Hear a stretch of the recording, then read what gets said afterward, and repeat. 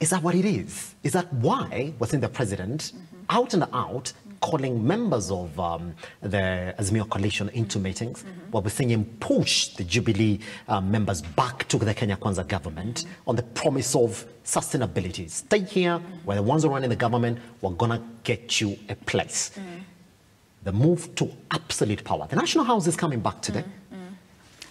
I'll get back to that. But first, I want to uh, take you back to 1984.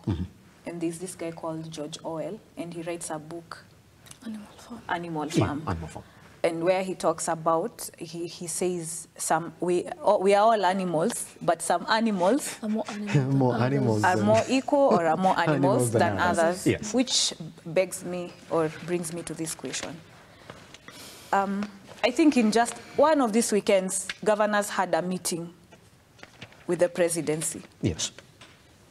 Iala MPs, when Iala MPs uh, were about to go to Arusha, they had a meeting. president. Yes.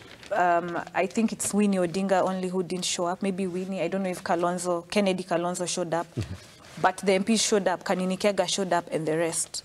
So my question is, I want to see the same strength. The way you are so hard, you're very hard on members of parliament. Why aren't you so hard on governors? Is it a situation whereby some animals are more uh, for example, yesterday, Natembe has been trending.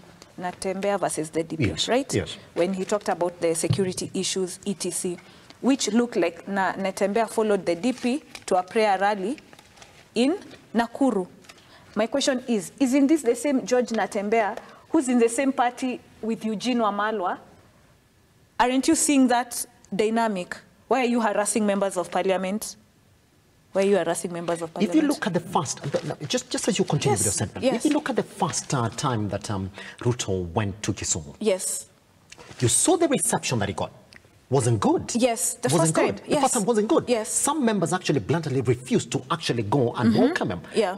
Look at the second time. Yes. They had to wait for Raila Odinga to speak. Mm-hmm. Raila actually did say, Yeah. the president is coming over. Mm-hmm. Please, could you accord him a state welcome? And you see what, what he got this time. Yeah. Good welcome. When in, when met promises of development.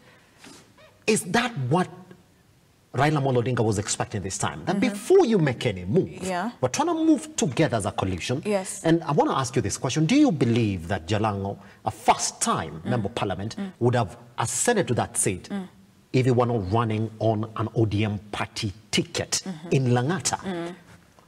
Basing your answer on that, then, Yeah. should have consulted the party leader because we do have movements, like Yes. Okoth is saying, rallies Yeah. within the country Yeah. at a time when they're disapproving what the president is doing, but you decide to unmit him without his permission. You know, I think um, Okoth might be privy now that she said she's uh, daughter daughters of Raila. She might be privy to the ODM. I'm, I'm assuming she must have been an ODM member or must have been privy to the constitution of uh, ODM and Yes. how ODM conducts its um, its affairs. Because before you deal the, the before you deal, every political party has its own handbook, yeah, like That's a it. manifesto on how they deal with issues, which is actually registered at the ORPP. Yes. So whenever you have conflicts, whenever you have issues, before you bring it to the court of public opinion, it's actually expected that you had your own internal kamukunji, where the, the, the, the board, the NEC, the NEC uh, leadership and the board, and the, or you have a dispute tribunal, and you could have called this guy and told him, hey, what you did. So I'm wondering, in, in between that, you know, short span, between Jalango going to see the presidency, between you having the Ma- Manzoni meeting, in between you, was there really like some sort of due process or it's you made a mistake and now we are going to take you to the court of public, opinion. Okay, coming back to the same Jalango who vied on an ODM ticket, who I believe, of course, he would, if he would not have vied on an ODM ticket, he could not have gotten the chance. When they say that um, in the meeting they spoke about national development, which you say Kanini Kega has Yes. uh, other wherever. One of the biggest housing project and biggest housing menace is actually in Langata. If you remember uh, the, the whole forest issues. Yes.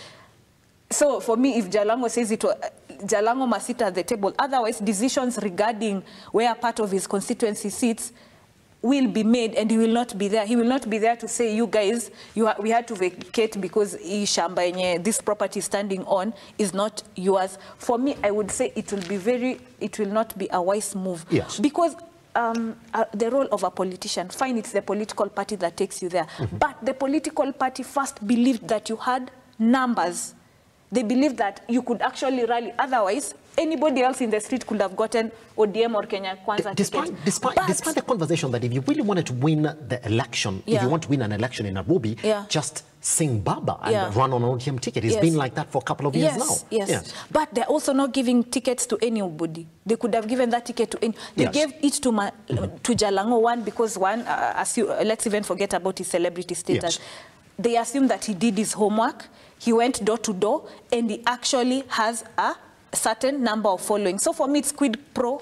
Uh, quid pro uh, Yes, quid pro, quid pro quo, I only yes. gave you this ticket because I also know that you have numbers. And one of the things that I rarely quote Gachagua, but one of the things I quote him on, and this is in regards to when she was talking about the central people. You know, you are daughters of Raila, Yes. and me, I was daughters of the mountain. yes. So uh, us as daughters of the um, daughters of the mountain, and we supported uh, uh, Baba, completely. completely, yeah. But what Gachagua and Gachagua kept on saying, and he told Kanini Kega, and he told Sabina Chege, and he told um, um, Jeremiah Kioni, he told all these honorables, the last day of election period is not the day you go to listen to your superiors. Dur the days of listening to your superiors are also important, but the most important thing, you go listen to your people, the people who elected you and the direction in what they want to go. The